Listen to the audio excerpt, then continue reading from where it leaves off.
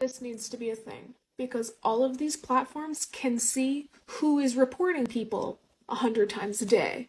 They should be facing consequences because that is cyberbullying. That's what keeps these communities unsafe.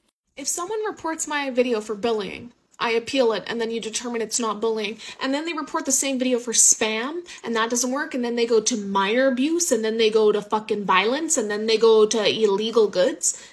You can clearly see that they are just harassing the person, but you don't give them consequences. You let one of those random reports stick and you punish the creator. They allow trolls on the internet to have control over silencing creators. Every single other time than this that I've been deleted, it's been when I had political videos popping off. So obviously, fucking psychos who don't believe in human rights are pissed off about the shit I talk about. And every single one of my appeals, I emailed Instagram and and fucking Facebook. I've done this many times for every day for six months straight. They don't give a fuck. Even the sites that you guys think I can post whatever on, I can't at all. The censorship is just as bad as on here. And the difference, they don't have any appeal process. They don't even tell you what's being taken down.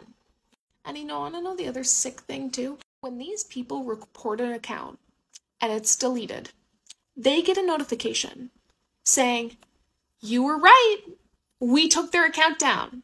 Thank you for keeping this community safe. They know this is happening but rather than targeting hate speech, child, they go for the creators that literally speak out against that. Make that make fucking sense. The video of me when I was a little kid doing a fake news report was removed for minor safety. That was the last report I got before my account was deleted.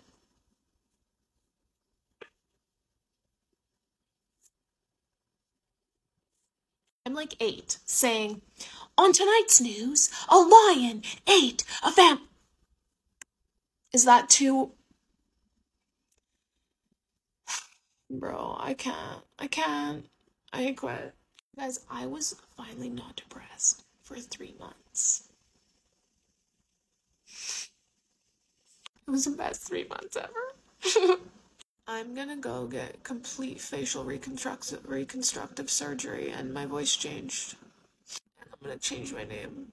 There's no way or uh, I don't. There's no other way.